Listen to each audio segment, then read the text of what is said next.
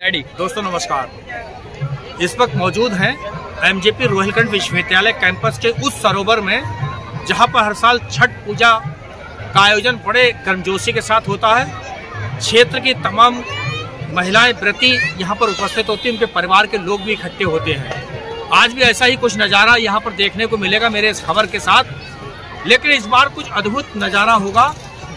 बड़ी गर्मजोशी है। एक तो साल आपने देखा होगा, कोरोना संक्रमण काल था, जिसकी वजह से सब कुछ अस्त व्यस्त हो गया था।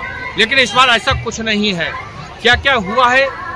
एमजेपी रोलखंड विश्वविद्यालय के इस तरणताल में, सरोवर में, वो सब कुछ इस खबर में हम आपको दिखाने जा रहे हैं। देखिए हमारी संपूर्ण रिपोर्ट।